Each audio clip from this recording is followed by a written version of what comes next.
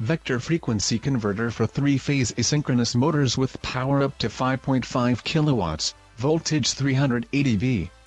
This model is widely used in food equipment, pumping and ventilation equipment, in ventilation and air conditioning systems of buildings, as well as in many other machines and equipment.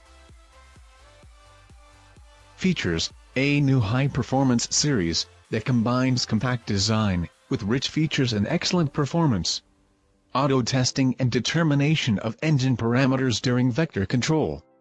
Built-in programmable logic controller that allows you to flexibly adapt the converter for a wide range of automation tasks without the use of external devices, which leads to an overall cost reduction.